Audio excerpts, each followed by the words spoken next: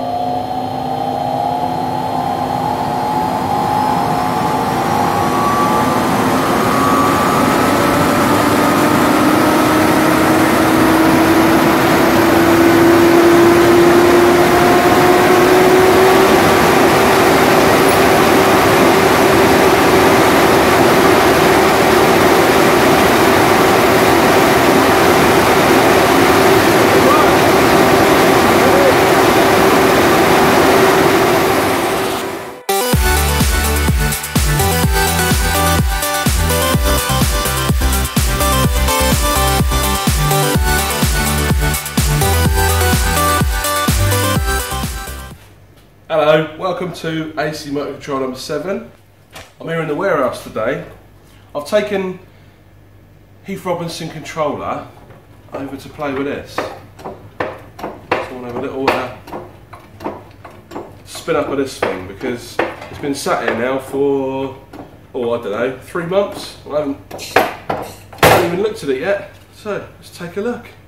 I think I'm going to strap it up onto the table just in case I accidentally do some harsh regenerative braking. I don't want to tip it off because it's not light.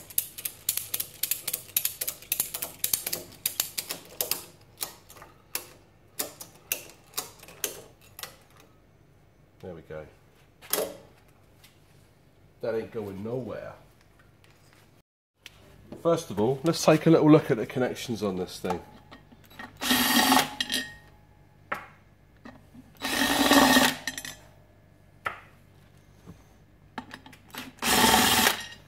Everything about this thing's chunky.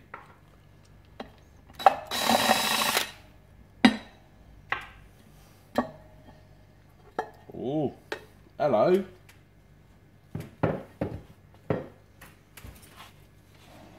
Wow, it's actually got new smell. I don't think this thing's ever been used. So, what have we got here?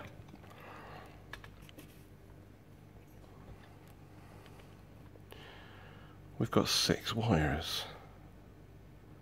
C1, A1, B1, C2. Now what you're seeing is the six wires is each end of each three phases. So when you see six wires like that, it means you can wire the motor up in um, delta or star. Yeah. Let's do some basic safety checks because this thing was found in a barn. So it'd be nice to see if it's uh, all okay.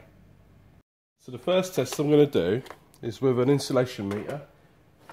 I'm going to run 1000 volts through each phase coil and measure what comes back on the earth. So basically it's going to, it's going to check if any of the coils uh, sort of burn out and uh, have making any electrical contact with earth or any of the wires or making any electrical contact with the cabinet of the motor then you know you've got serious problems.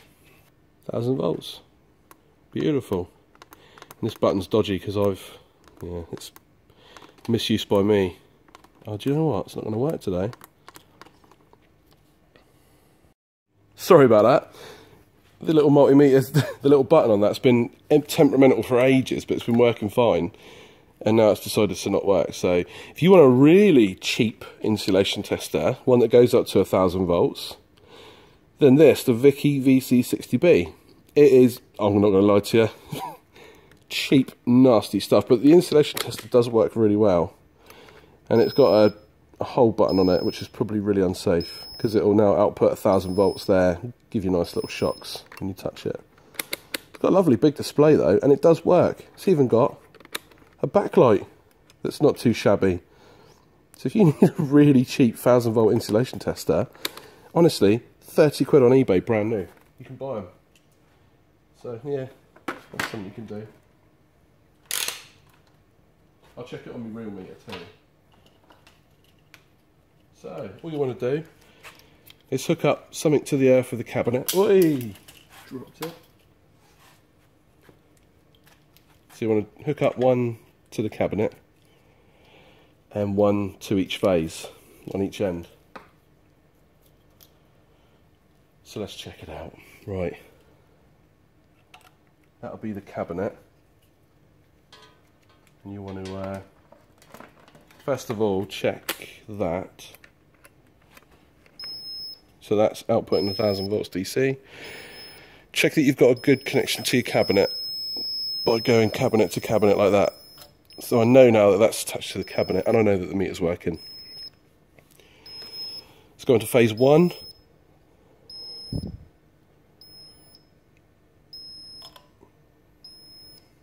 And you see we've got 122 mega ohms, million ohms, which is fine. Other end of phase one. It's going to be very similar because it's the same phase I'm reading. And then on phase two, that's beautiful. Other end of phase two, lovely. Phase three, beautiful. And the other end of phase three, again, lovely. No worries there at all. So, it's better. 0.3 ohms across phase one. And we got across A1.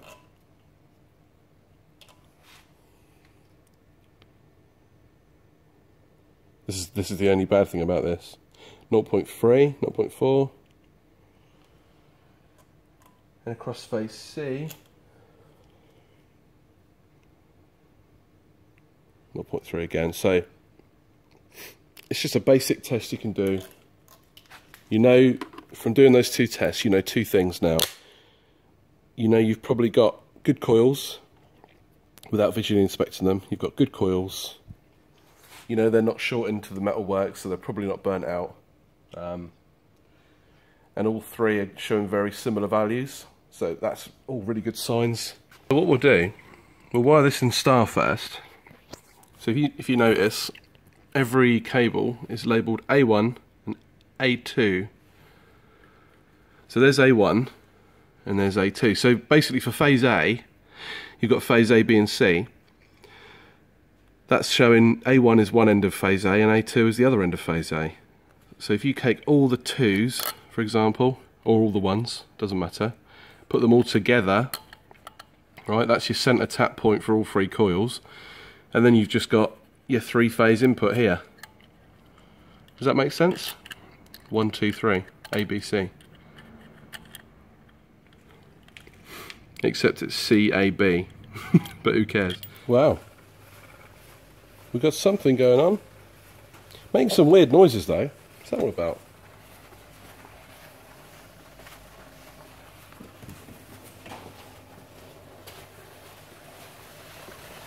Oh. let's uh, let's get those out of there. I didn't see them in there.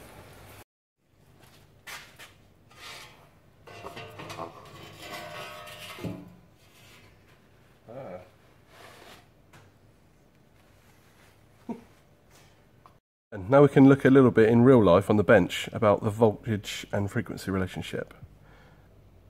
Yeah, we're going a little bit faster.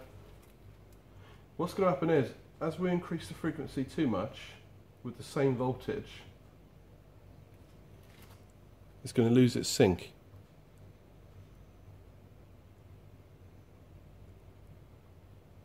So okay, that's fine, that's spinning faster. A little bit faster again.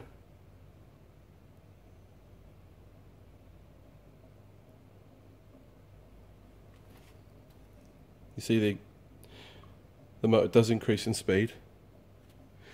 I think it's that's about as all it can take at 5 volts. If we go any faster,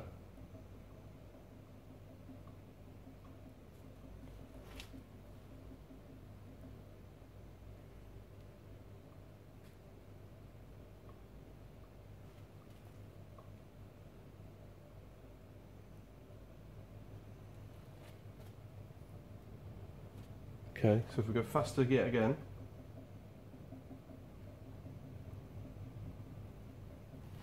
Okay, so I've gone a little bit faster. You can see now that the motor has completely lost async. It's slowing down. Now we're pulling more current. So what we're going to do is is keep the keep the frequency as it is now. I'm going to slightly increase the voltage to 10 volts. I'm going to increase it until I hear the motor start to pick up again. 6 volts.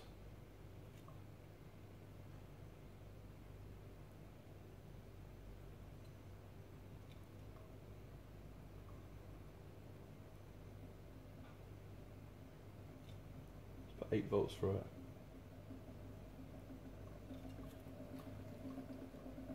Okay, so it's quite happy now. It's happy to pick it up again.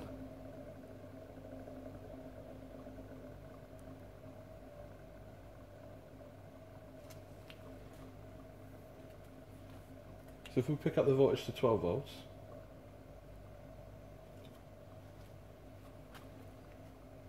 Now what happened now if we if the if the opposite happens, if we put the voltage too high in relation to the frequency, it'll run at that frequency, but it'll it'll waste loads of energy. The uh, electromagnets on the stator will become saturated, and you won't get any more speed. You'll get a bit more torque, but yeah, it's not going to be good. Now, while we're at relatively safe levels, I want you to see what happens when I slow down the motor. Or not slow down the motor physically, but slow down the magnetic field in relation to the motor. Ready? I'm going to do that now. Watch the DC bus voltage. Did you see that?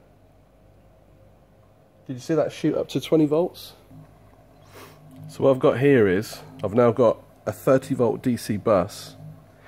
I've got the motor going too slowly. Uh, the, the frequency is too slow. So what's happening is, if you look at the voltage and listen, the motor's speeding itself up and then regen braking back down because the, the frequency is too slow. So you see it's not stable at all and it's drawing too much current. So now if we increase the frequency to match,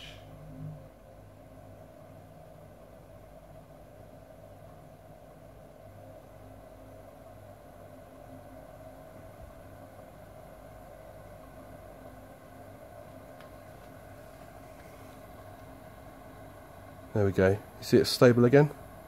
Well, so you can hear the motor RPM. As we, because that big fan on the back, as we lower the DC bus voltage and keep the frequency the same, you'll notice at some point it can't keep up anymore.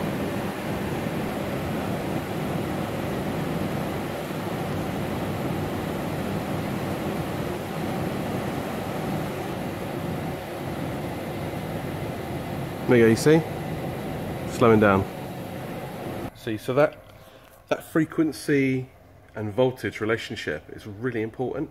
If you were monitoring your rotor control, you would call that your slip frequency.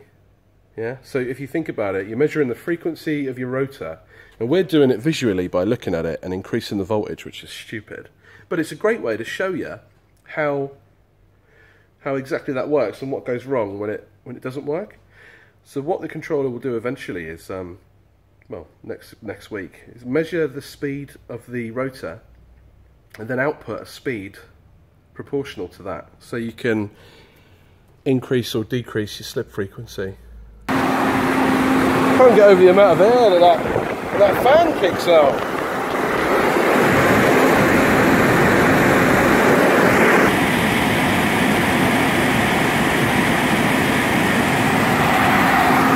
Is also a good test. I don't know if you can hear me over the wind. It's also a really good test of the um, the snubber circuitry because that's going to be having a lot more um, inductive spot backs, uh, back EMF coming off of this motor. So I can measure the temperature of all the diodes and the capacitors in and the resistors on the RC network and just check that they're, you know, they're not getting too hot or under too much stress.